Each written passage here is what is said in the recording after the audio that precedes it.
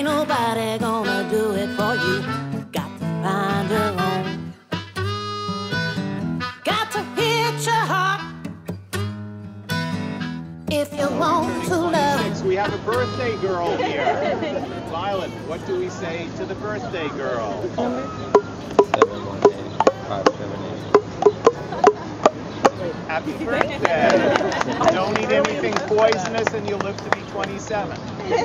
We're going to we're going to look at the key features of the plants and make sure we have them right. We'll go over all of the food and medicinal uses, ecology, science, some history, folklore, mythology. If you're more interested in cooking, we'll cover more cooking. If you're more interested in medicinal uses, or if you really hate your boss, we'll go over lots of poisonous plants and all the symptoms.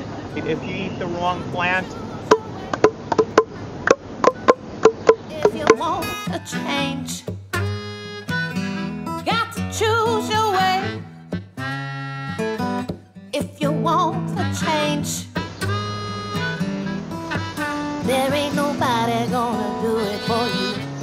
It's called shiso. Even though it doesn't belong in America, it's a Japanese plant. There's not a lot of it, and we want to give it a chance to proliferate if it can. So pass this around. You can taste it. So pick as much as you want. Try to strip off the weeds. The stems are tough. Strip off the There ain't nobody gonna give it to you. It is edible, kind of tastes like lettuce.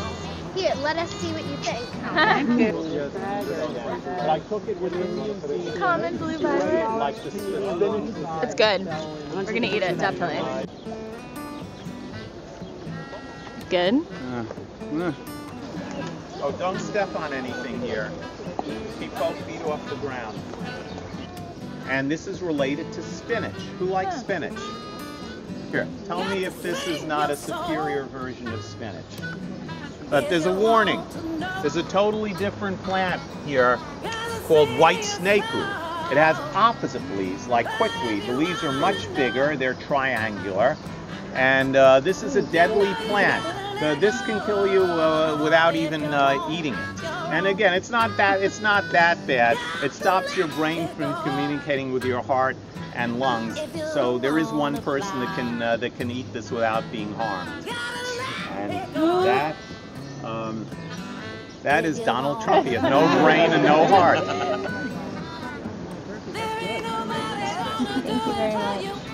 Yeah, whoever wants to cook the burdock root I dug. It's burdock root Yeah. that's made into beef jerky. Now, the flower stalk Good. itself.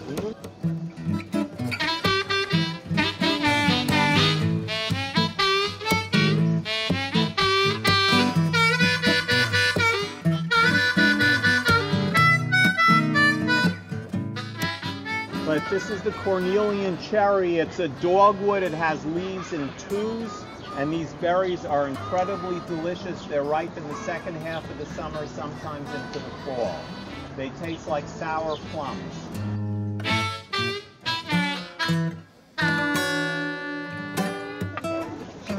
Here's the most dangerous species in the park. Wild peaches. Because we almost broke our neck last August trying to go through here, and they were so good we had to go. Yeah.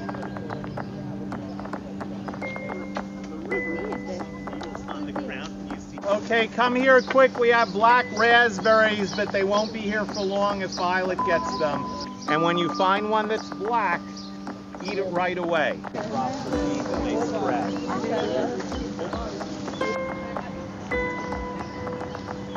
But here they are again.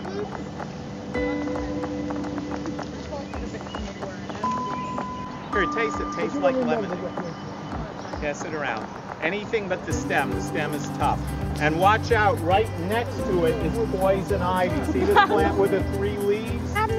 Oh my gosh. A week later, uh, she came on another tour. Both her arms are covered with bandages from her Like wrist to her elbow. Okay, this is the daylily. Has a six-petaled flower. The green part underneath is acrid, but all the rest you eat. Here, pass them out. They are delicious under a dictatorship? I haven't, but the one. Oh, that's sweet. Is it? There's the other hot pot. All right. Mm. It's good.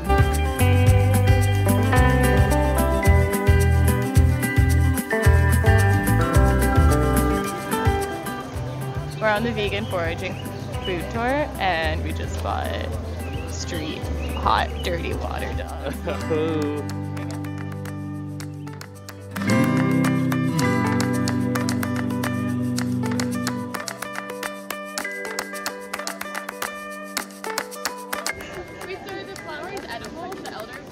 Yes, yes, you have to cook them and don't use any of the stems. The stems, uh, the stems and the leaves have cyanide in them, you know?